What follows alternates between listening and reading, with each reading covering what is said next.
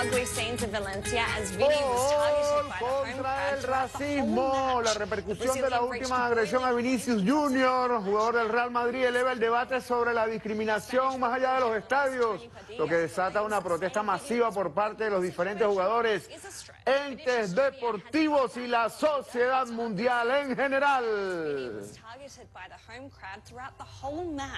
the Brazilian reached a boiling point and subsequently lashed out. Olha a torcida, olha a torcida. Mano, mano. Mano, meu Deus, mano.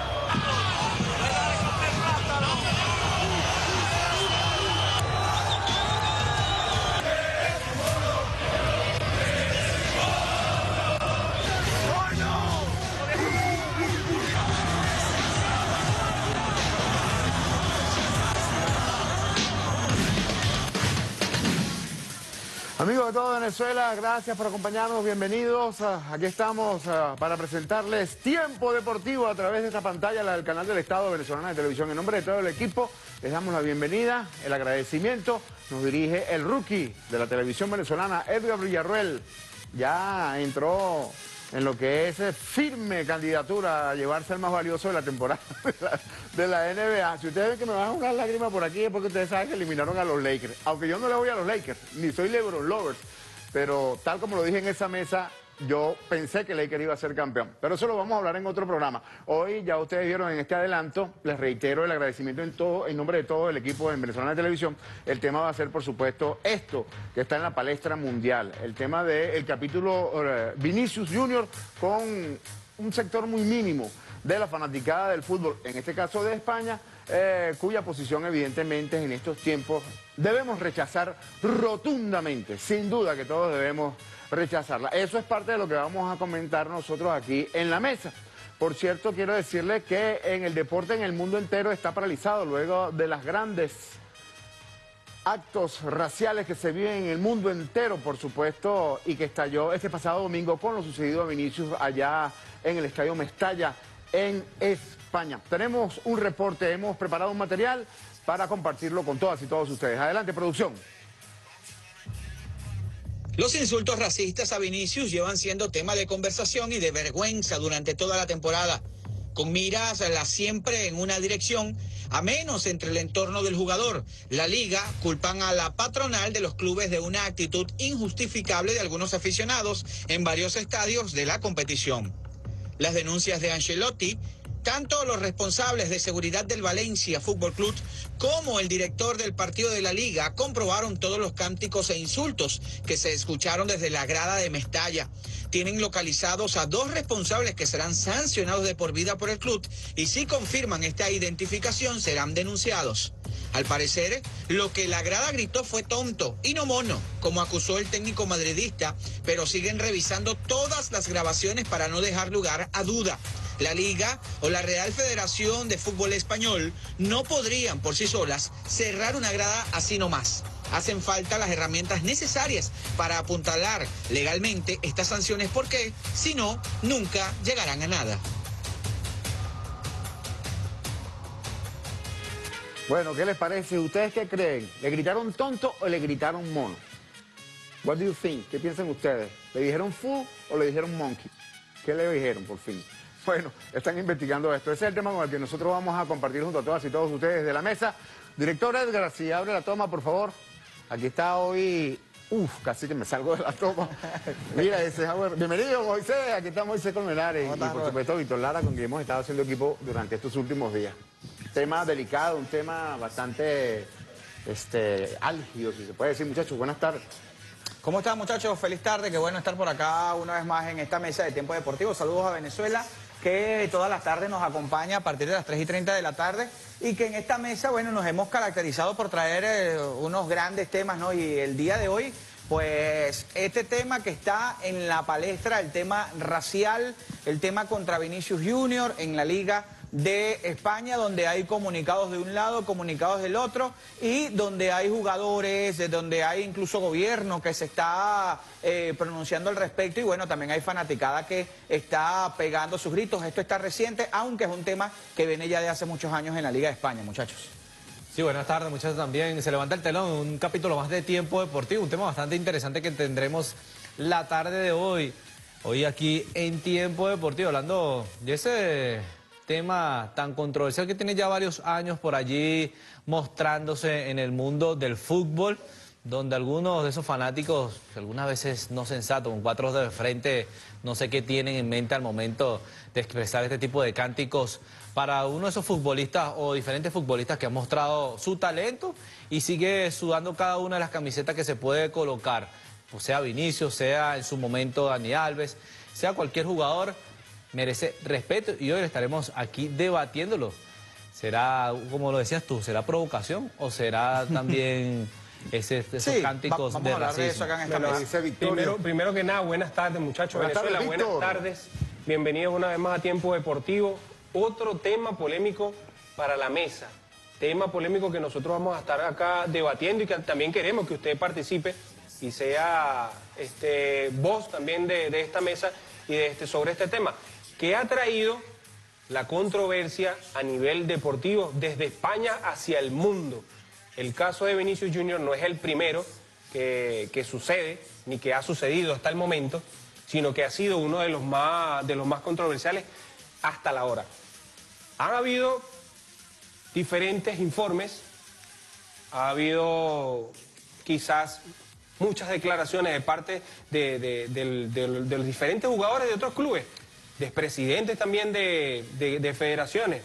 El presidente Lula también estuvo pendiente. Sí. Pero este caso, este caso a mí me deja, me, deja, me deja todavía una sensación muy amarga y es que todavía no hemos estado como muy por encima sobre estos temas que hasta la actualidad se mantienen dentro de la polémica y quizás a algunos les ha tocado la fibra tan, tan, tan fuerte de sentirse atacado en otro país, siendo tú un jugador profesional y siendo también parte de uno de los mejores clubes de, Europa. Bueno, nosotros en Tiempo Deportivo, como cada tarde, tenemos preparada una pregunta. Tiempo Deportivo te pregunta, allí la tienen. ¿Es racismo en el deporte? El tema no es racismo en el deporte. La pregunta es que si hay provocación o racismo. ¿Es provocación o racismo lo que sucedió con Vinicius Junior? Es parte de lo que vamos a conversar aquí en la mesa eh, y queremos también la participación de ustedes haciéndoles esa pregunta. ¿Ok?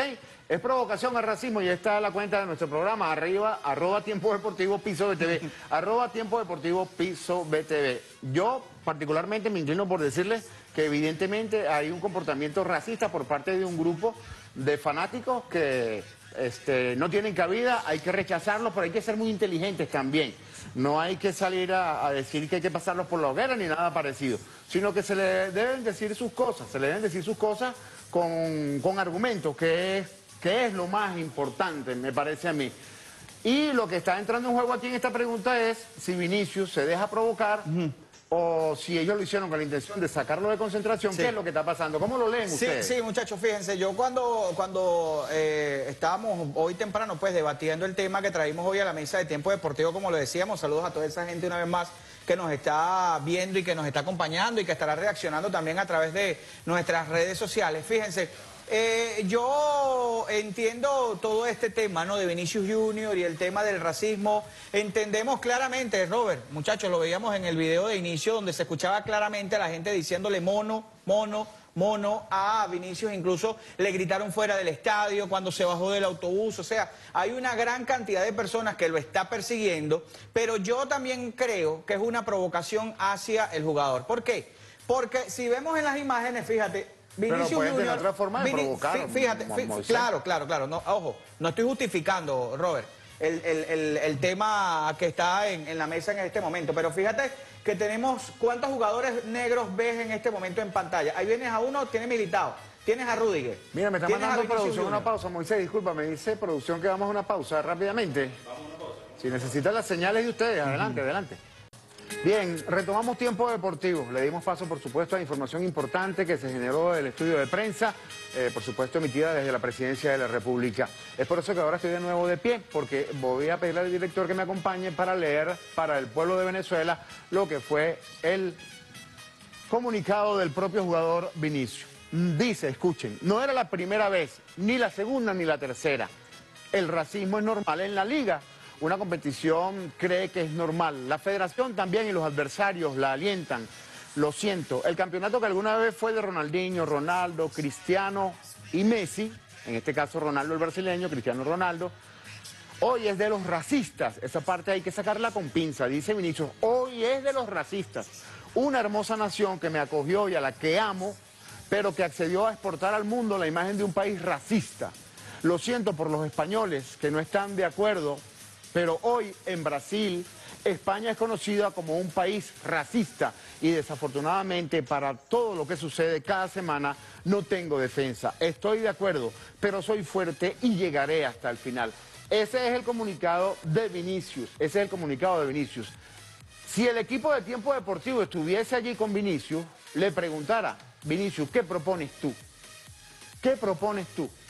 Él se siente que no lo están defendiendo, él se siente que no lo están respaldando, que están dándole más importancia y están dejando ver una imagen racista. Esa es la visión de, de Vinicius, que es la víctima en este caso, si lo podemos llamar así. Pero la pregunta sería, Vinicius, ¿de qué manera se puede ir solucionando, o se puede, o tienes tú la fórmula mágica para que esto se resuelva? Es parte de la pregunta que le haría el equipo de tiempo deportivo. Voy a la mesa, Edgar, entonces, para continuar con lo que ha sido este tema que tenemos el día de hoy, y le voy a dar la palabra de nuevo a Moisés porque él estaba hilvanando Sí, las ideas. Sí, sí, sí, pero fíjate, a propósito ya de esto que acabas de leer y, y el comunicado del propio Vinicius Junior, quien eh, lo publicó en sus redes sociales y tiene cualquier cantidad de seguidores Vinicius, porque nada más y nada menos un jugador estrella principal del Real Madrid, el conjunto eh, más ganador de, Europa. Y, fíjate, es un tema que no es nuevo en España, y él lo dijo. Hoy en día, Brasil en Brasil, España es reconocido como un país racista, porque él incluso lo dijo, la Liga y España son racistas, a causa de esto hubo múltiples respuestas y todo lo demás,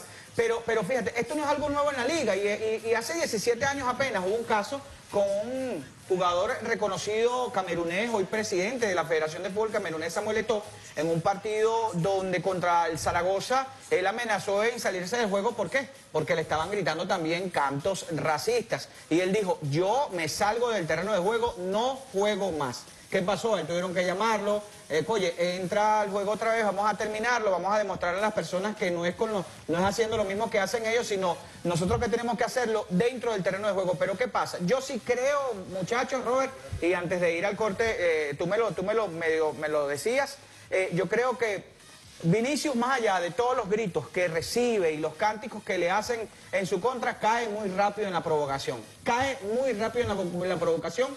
Vinicius Junior, más allá de que, oye, no cualquiera está preparado para escuchar un cántico de pasa es 20 que mil, como- 30 mil como Es un personas. tema ah, delicado, como un ya le doy la palabra, como un tema tan delicado, esa posición tuya tiene lógica, tiene mucho sentido, es verdad, pero es un tema delicado porque es un tema mundial. Sí. Entonces, eh, no es lo más oportuno asumir esa posición. Por cierto, nosotros vamos a tener unos contenidos en redes donde ustedes van a ver la posición de un colega periodista venezolano que lo que yo opino es eso, que no es el momento. Está bien lo que él dice, no está mal, pero en este momento, porque ese es un tema delicado a nivel mundial. Pero fíjate, eh, Ya vamos con, me está hablando por producción, adelante, muchachos. yo tengo, ¿pero qué tenemos por ahí? Para no hacer que me corten la Tenemos las idea. declaraciones de Carlos Ancelotti. Vamos si ustedes tienen a exacto. Ancelotti, que es el técnico del Real Madrid, si lo tienen adelante para ver qué dijo el técnico.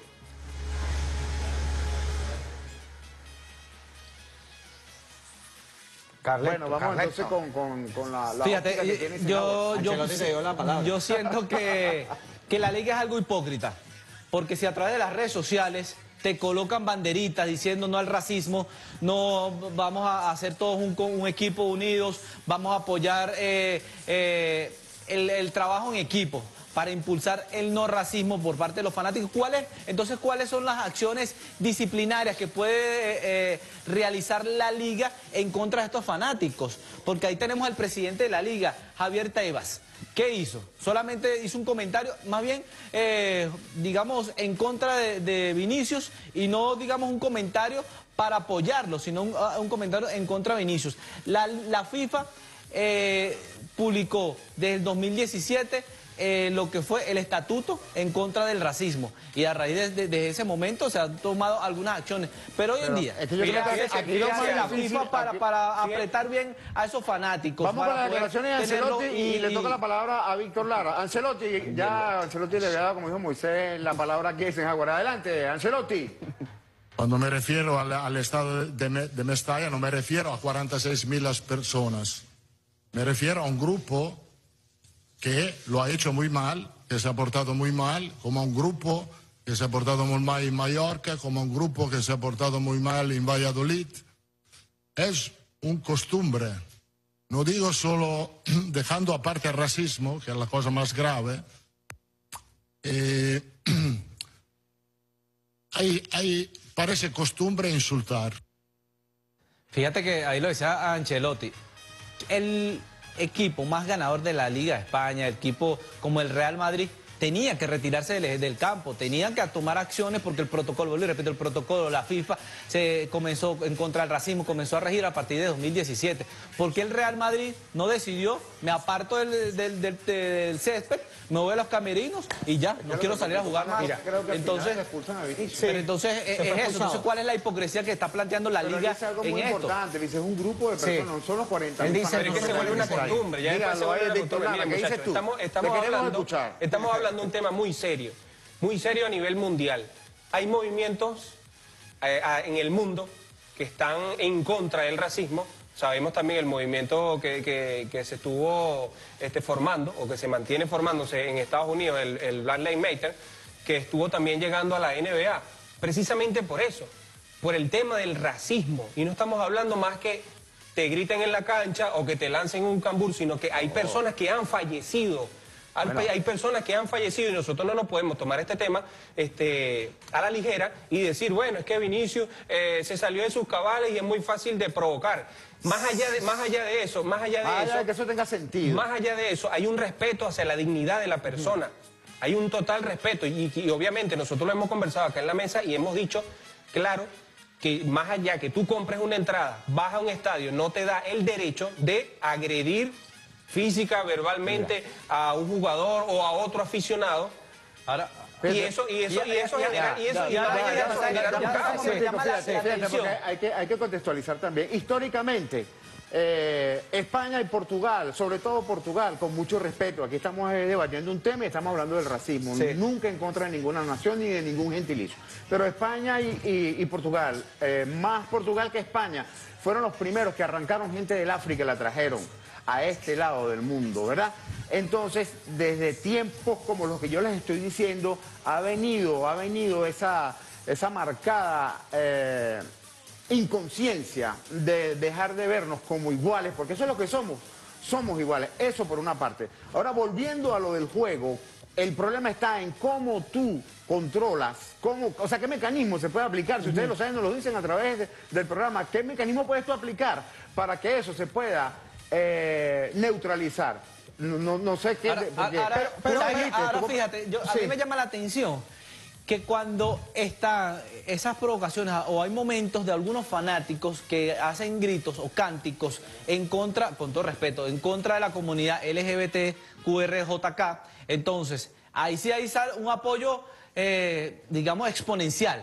De, de- para estas No, pero personas, si- pero si ahora contra el racismo No, es válido, es de- válido. de- de, de color, entonces ahí sí no hay apoyo, entonces lo que hacen es burlarse, decir que es algo que, que, que es, Vinicio es un ridículo, que solamente es sensible, y no, es algo serio, es algo serio porque es, es- es una lucha que está teniendo muchas de esas personas de color desde hace años, que, que hoy en día es, en el deporte, vamos a decirlo así, es el que, es el que domina.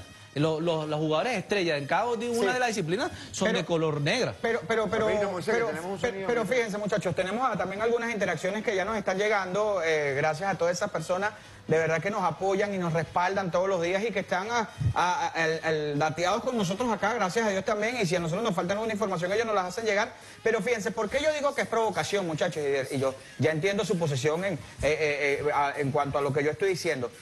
¿Qué otros jugadores negros había en el terreno de juego? Víctor, Robert, ¿cuáles serían, cuáles eran los otros? Estaba Rudiger. ¿Por qué no le quitan negro o mono a Rudiger? ¿Por qué no le quitan negro o mono No, a Militao? yo creo que eso es fortuito. ¿Por qué? Pero es que Ahí lo han ahí hecho. es donde vamos. con el ahí- mismo- ahí es con donde el vamos. mismo Alaba Ahí- también lo ha ahí- hecho. ahí- Ahí es donde vamos, fíjense, ahí es donde vamos.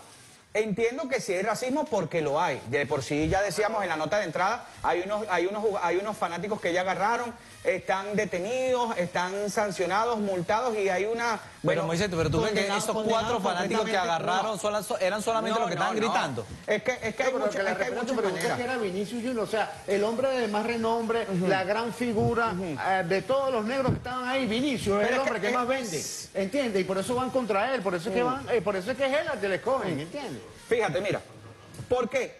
Aquí por lo menos acá alguien nos escribe, se llama José Marcos Hidalgo, Hidalgo Espinosa. Él nos escribe eh, a nuestra cuenta en tiempo Depo- deportivo, nos dice, coincido que desde hace mucho tiempo se viene atacando de esta manera, con la salvedad de que ya se ha hecho más evidente y con más violencia. Es un tema que tiene muchos años en la Liga de España, nombramos un caso hace 17 años y, el, y, el- y la víctima en ese caso era Samuel Eto'o, así como también los deportistas, algunos han caído en las provocaciones de estos elementos ultrosos de, en detrimento del deporte, caído en provocaciones eh, y mucha gente lo ha dicho, pues ellos son profesionales, el fanático lo está viendo de otra manera y yo creo que la mejor manera de Vinicius Junior callarle la boca a estos jugadores era hacerle dos o tres, cuatro goles a, a Valencia. Con el, mismo, domingo. con el mismo juego. Mira, precisamente por acá nos escribe Francisco Toro.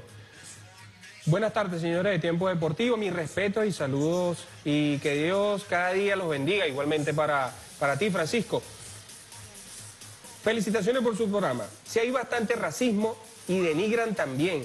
Y no hay nada más, por- y, no, y no es nada más por el color de piel del ser humano, también por la nacionalidad, por la situación económica, estatus, como unos lo llaman, una, una forma o otra manera de vestir.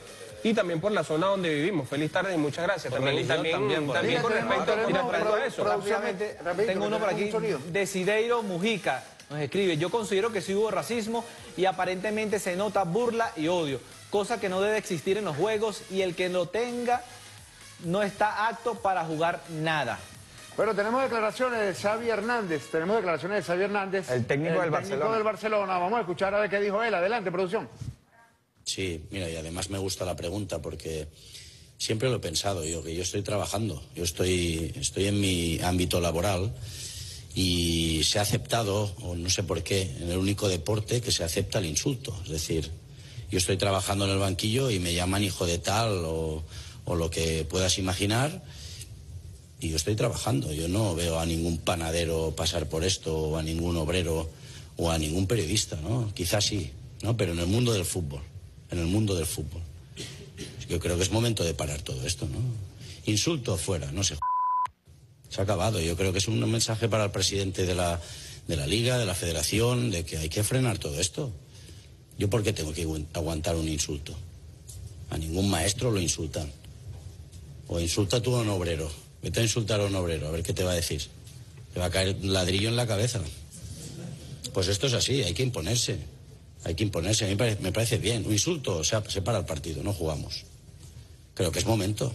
Yo no tengo por qué aguantar en mi horario laboral insultos y, bueno, desfachateces de, de todo tipo, de todo tipo. Siempre lo he pensado, lo que pasa es que no me toca mandar. Ahora que soy entrenador del Barça, que tengo más, eh, más poder mediático, pues aprovecho para decirlo, que creo que ya es, es momento de decir basta. Fíjate lo que A- decía acertada- Xavier, acertadas las Xavier palabras, Hernández, ¿no? decía, yo retiro a mi equipo si sucede un caso de esto. ¿Por qué no hizo el Real Madrid? ¿Por qué no lo hizo Ancelotti? Y retiraba a sus jugadores, no quiero jugar más por estos cánticos, o se saca al público y se juega a No, puerta ya cerrada. va, ya pero lo que pasa es que no, se- no se puede retirar así porque el campeonato tiene unas reglas. Ellos se rigen por lo que diga la liga. Aquí, en parte, Pero sabemos cuál es tu pero- pero exposición. el ¿por qué lo estatuto- el estatuto de la No, pero te- no, no, pero es que es la liga la que se tiene que reunir. Claro, es la pero liga la que se tiene la que reunir. Pero hay Sí, situaciones, sí, hay sí, situaciones, situaciones sí. que ocurren. Pero la situaciones liga, que ocurren rapidito que la idea. La se reúne y decide. El mecanismo que más cerca llega a una posible solución es que el estadio donde se cometió la infracción, ahí se juega a puerta cerrada la siguiente fecha. Jugarán a Eh, puerta cerrada entonces en todos los estadios de España. Bueno, por eso, porque es difícil. ¿no? Por- hasta que se tome la iniciativa de que no se- no- no lo pueden seguir Han habido haciendo. cánticos, este tipo de persecución, lo decía el mismo Carleto Ancelotti en sus declaraciones que la escuchamos hace rato. Ha sido en Mallorca, ha sido en Valladolid, ahora fue en España, eh, eh, en, En en- Valencia. en Valencia, también hubo en Barcelona, eh, y infinidad de cosas. Y fíjate que este, la FIFA, si la Liga de España no hace algo con esto, Que la no, hace, no hace algo con... Si la Liga de España, que es la, la responsable inmediata, y ya todos conocemos la postura de Javier Tebas, un Javier Tebas que se ha encargado durante su mandato de perseguir al Real Madrid, de perseguir al Barcelona, de perseguir al Atlético Madrid, que son los tres grandes equipos de la Liga de España, y que ahora le cae el caso Negreira y que ahora le cae aunado a esto el caso racismo en la liga y que hasta ahora se ha pronunciado nada más para decirle a Vinicius Junior que él no está enterado de lo que está ocurriendo, que él no puede acusar ni al país ni a la liga de racista. O sea, él nunca defiende al jugador, en este caso, como lo decía Eise- por lo menos una Eise- posición pero- y- y- y diciendo que él mucho- y mucho rechaza menos. ese tipo de entonces, comportamiento. Entonces, ¿qué pasa? En Inglaterra, por ejemplo, por los años 70, 80, cuando había racismo fuerte allá en Inglaterra, antes de conocerse la llamada Premier League, hoy en día llamada Premier League o Liga Premier, este, ¿qué, qué se, qué se hizo? La FIFA sancionó, se sancionó a la Liga de Inglaterra y no hubo competiciones internacionales No. para ninguno de Y ellos. cuando los- esa Pero pudieron, no pudieron, no participar que- en- mira, se un full, pero cuando los hooligans, los ingleses, ¿sabes qué hicieron? Metieron cámara en todos los estadios y le hicieron un seguimiento y se lo demostraron en un cuarto. Este eres tú, aquí está y tú no entras más a este estadio. Capturado. Es que lo que tiene que hacer, pero con los hooligans pero porque hubo una desgracia, lamentablemente, Capturado. en un partido contra, co- entre italianos y británicos. Ey, se Pero vamos a, vamos a aprovechar y repasar. Todavía me dicen que no lo tenemos, ok, vamos a seguir este, hablando de lo que es este tema. Tú lo decías muy bien. Y, y Robert también. Entonces, hay que hacerle un seguimiento a cada uno de los fanáticos. Y mira, este fue Moisés, fulanito tal que vive en tal calle, no entra más al estadio del Valencia, no entra más al estadio del Real Madrid. Y se le veta por toda la vida el, el ingreso a cada uno de estos estadios, porque estos fanáticos van a seguir empañando lo que es el desarrollo del juego y van a continuar insultando a, Pero- a estos pero mira, Pero jugadores. más allá de castigar a tres, cuatro personas no es- no es- no es- no- Pero no- es algo, el comienza- eh, el aprendizaje no es más así. Lo que dice Robert, Comienza- se juega a- comienza- a, a- a- comienza a- por a- algo. a puerta cerrada. Ya me indica que ya tenemos ya el full por allí de la ley en contra del racismo en España. Vamos a ver qué dice esta ley. En España, el 12 de julio de 2007 entró en vigor la ley contra la violencia, el racismo, la xenofobia y la intolerancia en el deporte con un conjunto de medidas dirigidas a erradicar a estas prácticas, así como sanciones para quienes tengan actos racistas en el deporte.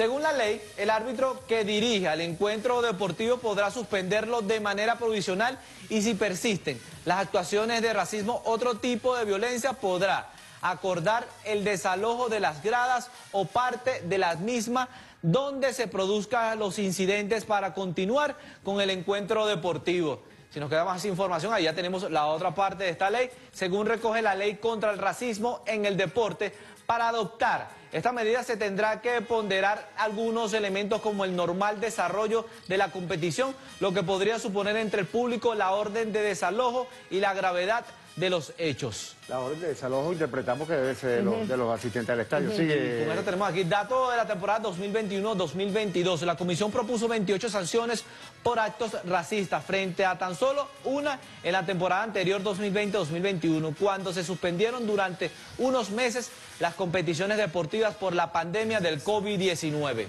Bueno, eh, fíjense ustedes que hay un marco de ley inclusive con este tema del racismo. Por acá tenemos interacciones. Este dice, mi nombre es Francisco García. Yo pienso que hay ambos temas, oíste, ustedes dicen Sí. aquí. Tanto provocación, Provocación. como racismo. Hay racismo y provocación. Eso no se puede permitir. Eso es de personas inconscientes y malvadas.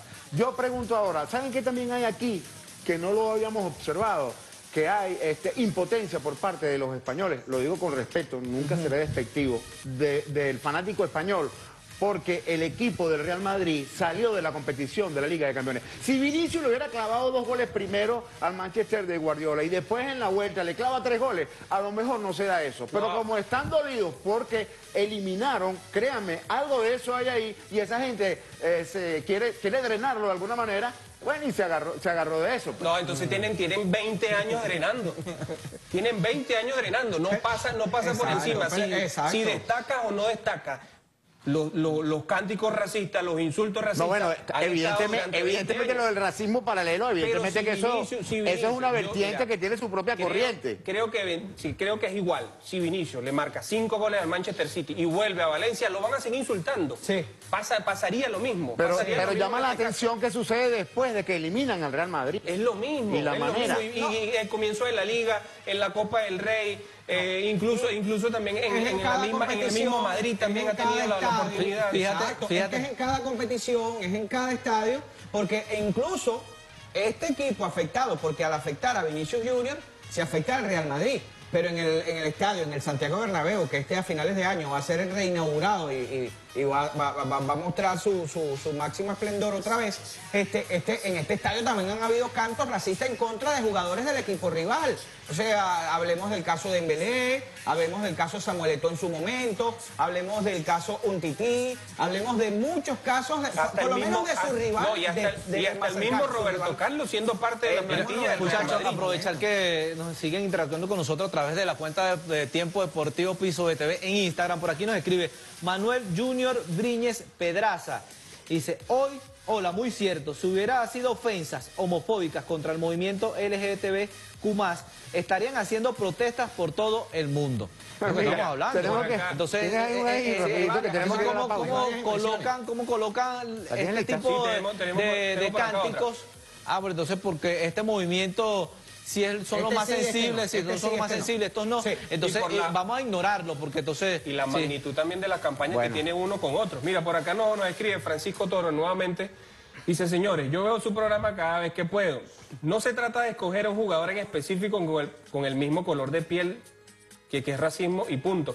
Hay que estar en los zapatos del jugador o de la persona y se observa, y se observan las imágenes del partido, el arquero del otro equipo, el arquero del Valencia, este le cae encima a otro jugador y lo agarra por el cuello y no conforme a esto lo sucedido, el árbitro expulsa al racismo, o sea, o, a- o- o este caso a Vinicius Junior que, que es el que lo vota. El VAR tampoco revisó en ese, en ese juego el- esa, esa jugada. Tenemos pausa, producción me está dando indicaciones.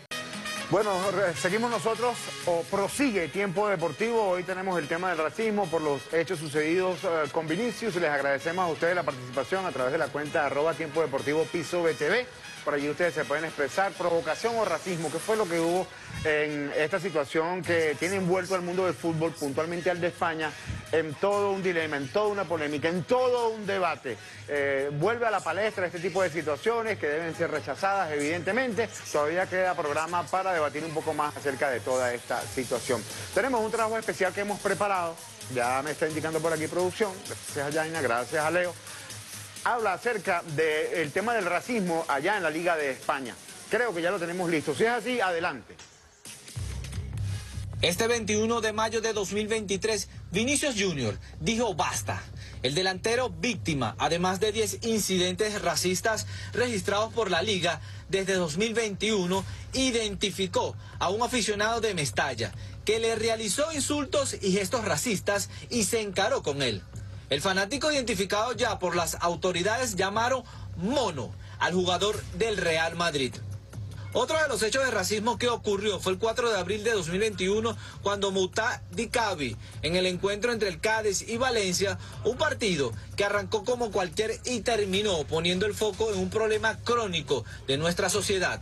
El asunto estalló tras una discusión entre Cala y Dicabi surgida en una jugada en el área del Cádiz, pero ¿qué pasó después? Se produjo un supuesto insulto racista negro de m- según asegura el propio Dicabi. Otro de los incidentes en el fútbol español fue el de Iñaki Williams, el delantero vizcaíno, quien ha sido víctima de racismo en el fútbol hasta en dos ocasiones. La primera sucedió el 21 de agosto de 2016 durante un Sporting de Gijón versus Athletic. Según el acta de aquel encuentro, dirigido por el árbitro Klaus Gómez, se emitieron sonidos imitando la onomatopeya del mono, dirigidos a Iñaki Williams, desde uno de los fondos. Esto obligó a parar el juego en el minuto 22, comunicando el incidente al delegado de campo del Sporting para que se tomasen medidas. Las ligas de fútbol deberán aumentar las sanciones con las actuaciones de racismo en el campo y hacia los fanáticos o tendrán que dar su brazo a torcer y aceptar estos gritos ofensivos.